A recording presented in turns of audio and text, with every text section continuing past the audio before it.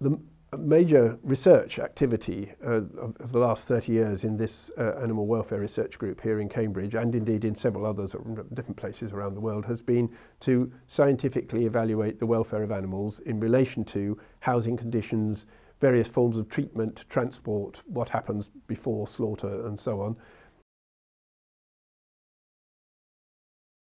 We now have a very good battery of measures of the welfare of animals. So we, we can actually say this is the difference between one method and another method, and that some methods are extremely bad for animals. We've been using methods for keeping animals which are absolutely terrible, which don't meet their needs, and which result in the animals becoming um, really um, seriously uh, harmed, uh, as, as well as having very poor welfare at the time they're in those conditions.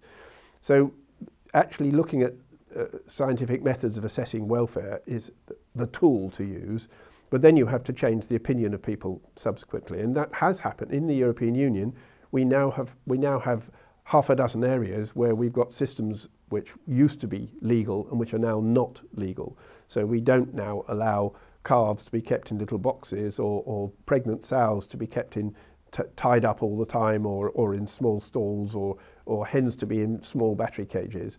And so, uh, or indeed for some transport methods to be used, which used to be used and are now not legal. So we have seen some major changes and they are all based on scientific ev evidence.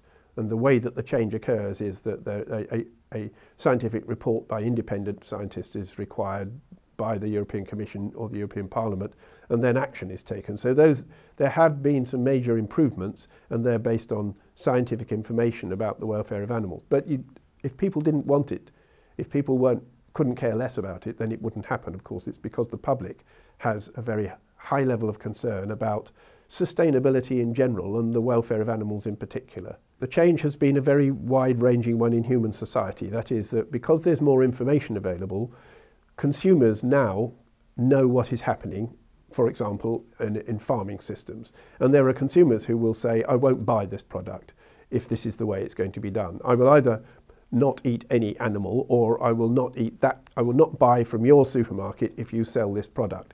And so we've had, seen a, an economic change, that is that consumers are driving a lot more of the decisions about what happens on farms or in factories than used to be the case. So we've moved from a, a, push economy where the, the farmers decide how to do it to a pull economy where the consumers are deciding at least some of the things about how, how animals will be produced. And I think that's been the major reason for the change.